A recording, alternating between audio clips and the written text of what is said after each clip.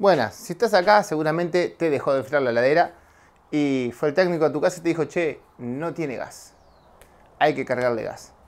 Cargáselo, ¿cuál es el problema?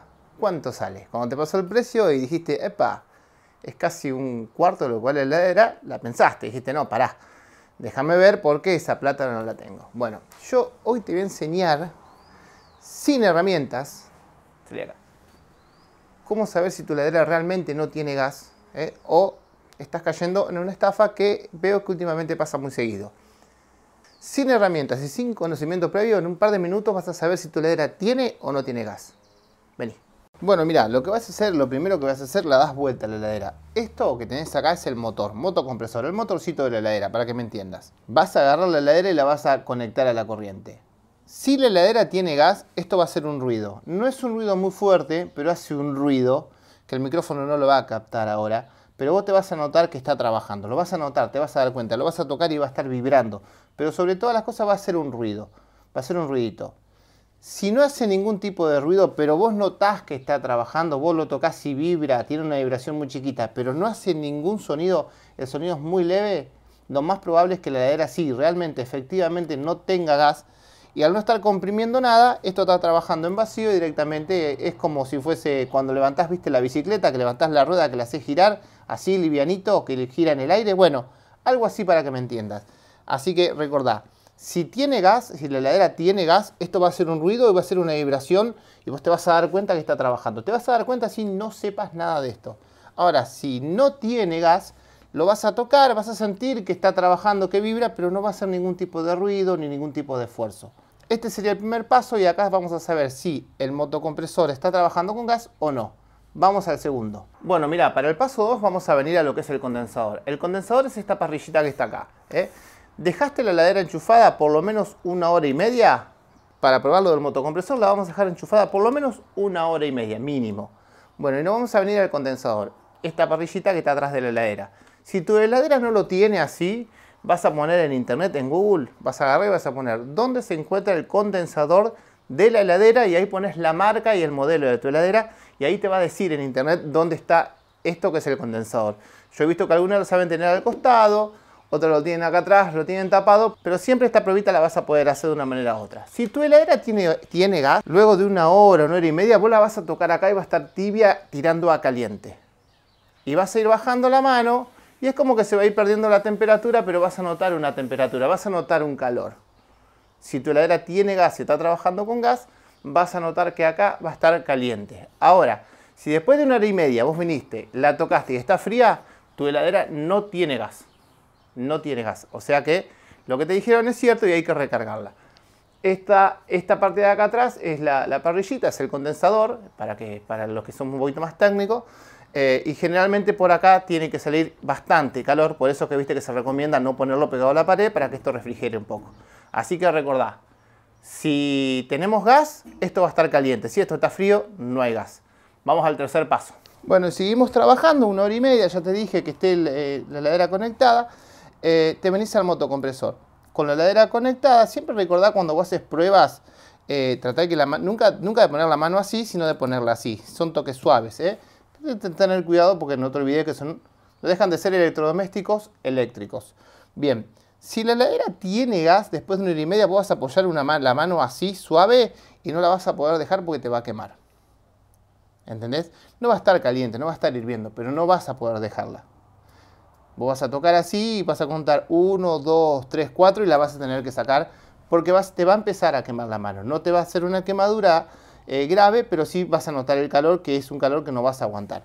Ahora, si vos lo tocas y dejas la mano y no pasa nada, con la heladera en marcha después de una hora y media que estuvo andando, es porque la heladera no tiene gas. Estas son tres pruebas que puedes hacer sin conocimiento, sin herramientas, como podés ver, esta no lo tiene porque si no hubiese tenido que sacar la mano. Así que bueno, estas son tres pruebas que vas a poder hacer sin herramientas, sin conocimiento previo, para saber si tu heladera tiene gas o no. Vení que te muestro una más y esta va a ser la última. Bueno, mira, acá ya nos encontramos en lo que es el freezer de la heladera. Siempre recordad con la heladera enchufada después de una hora y media, dos horas. Eh, si vos tocas acá y vos lo vas a sentir, siempre lo vas a sentir frío, porque eso es un lugar que se mantiene generalmente fresco. Pero lo vas a sentir frío, pero tiene que estar frío a modo de congelamiento. Si vos lo tocas así como yo toco y está frío, vos decís, no, pero algo enfría, y está frío, pero no muy muy frío, es porque la heladera no tiene gas. Si se congela una parte, ponele que vos arrancás por acá y se te empieza a congelar acá. Te hace un poquito de hielo acá. Y la otra mitad no, es porque la heladera no tiene gas. Si se mojó todo, se transpiró, pero te repito, y no enfría, es porque la heladera no tiene gas. Acá tenés otra manera también de, ver, de diagnosticar tu heladera si tiene o no tiene gas. Obviamente, si la heladera tuviera gas, lo que te va a pasar es que acá te va a hacer hielo. Pero bueno, si llamaste al técnico era porque justamente acá no te estaba funcionando la, la heladera y no tenías gas. Si no, no lo hubiese llamado, ¿no es cierto? Pero bueno. Y bien, ahí te mostré con unos tips que son muy fáciles y no tenés que tener conocimiento cómo saber si tu heladera tiene o no tiene gas.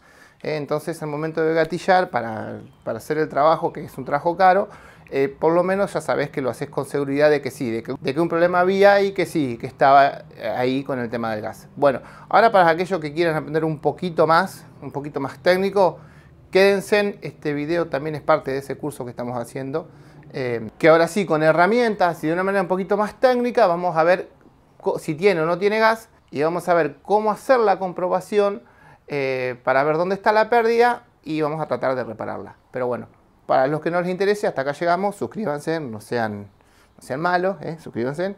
Y para los que sí les interesa, quédense en que seguimos trabajando. Bueno, para los que se quedaron enganchados del video de recién y quieren aprender, estamos haciendo un curso de, refrigeración. Bien, eh, tenemos el manovacómetro y tenemos el tubo de nitrógeno con el nombre acá del caballero, el señor Diego, que el señor tiene poco. Bueno, venimos acá. Eh, acá hemos puesto una válvula, sacamos la válvula, queremos comprobar porque bueno, llegamos a la casa nos dijo, che, no me fui a la heladera, ¿querés saber si tiene gas o no? Bueno, mano vacómetro, vamos a conectar. Y vamos a mirar, porque vamos a conectar por la línea baja, porque recuerden que las heladeras no son de tener mucha presión. Y una vez que conectamos, nos damos cuenta que sí, que tal cual, no tiene, no tiene refrigerante. A ver si podemos abrir un poquito esta manguera. Si sale algo, sale un poquito. ¿Escuchan? Pero sí, no tiene refrigerante. Bueno, hay que encontrar el por qué no tiene refrigerante. ¿Por qué no tiene refrigerante? Porque lo perdió porque tiene una fuga. No hay otra, ¿eh? No se gasta. Bueno, tubo de nitrógeno, como ya saben, no sé si los vieron en otros videos, lo volvemos a hacer. Abrimos. Vamos a conectar y ahora vamos a cerrar el volantito de conexión de baja. ¿eh? ¿Por qué lo cerramos, gente? Porque si nosotros por ahí abrimos y este no está regulado, está con toda la presión que trae el tubo, vamos a romper todo. Entonces ahora sí, vamos a abrir tubito para que vean ustedes las presiones, a ver cómo estaba. Eh, estaba, medio, estaba medio fuerte, ¿vieron? Vamos a bajar un poquito. Esto seguro alguna prueba que han dado haciendo, no recuerdo qué hice con esto. Bien. Vamos de nuevo acá y le vamos a dar unos 100 PCI. Vamos que se cargue. Bien, llegamos a los 100 PCI, cerramos. Vamos por acá.